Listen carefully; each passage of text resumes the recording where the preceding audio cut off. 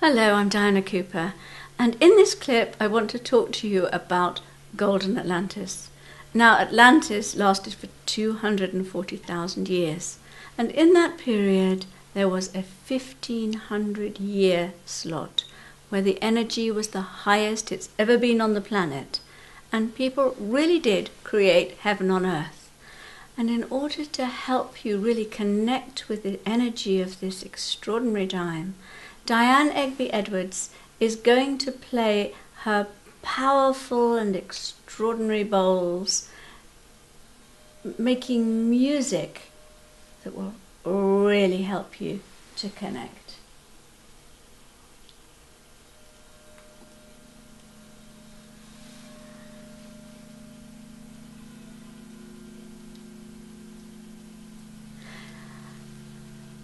At this time, there were 12 tribes, and each tribe was led by the high priest and the high priestess.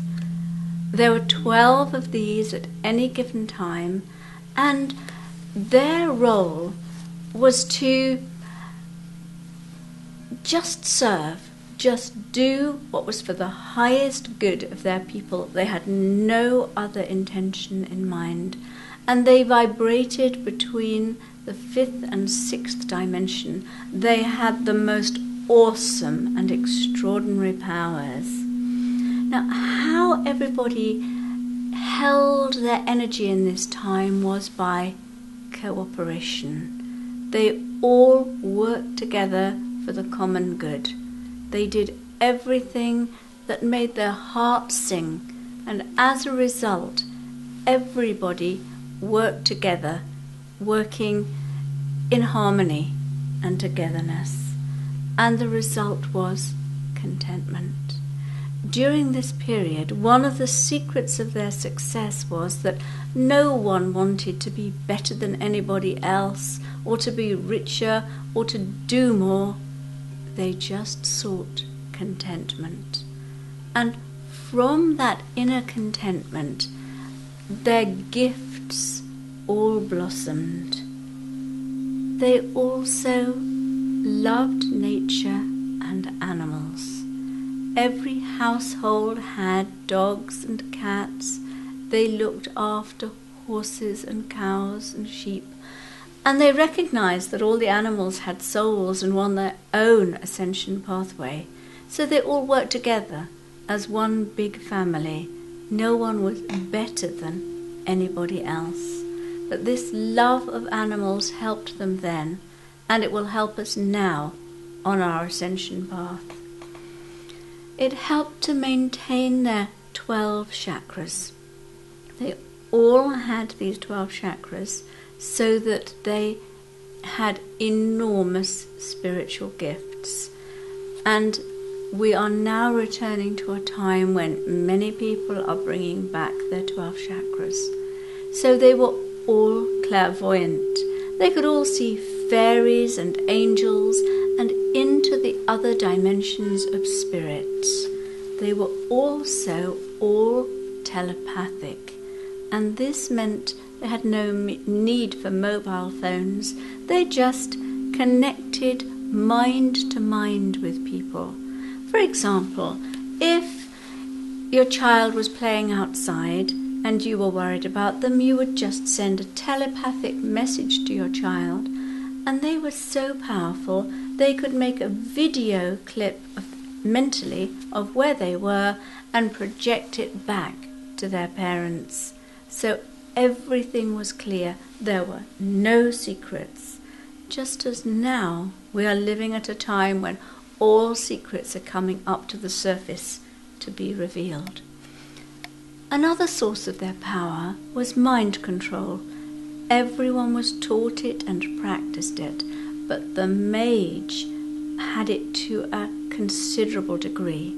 They were so powerful that they could focus their minds and use crystal power and manifest, materialize out of the other realms and dimensions. At that time, they had awesome spiritual technology. They could move at speeds faster than we have any concept of.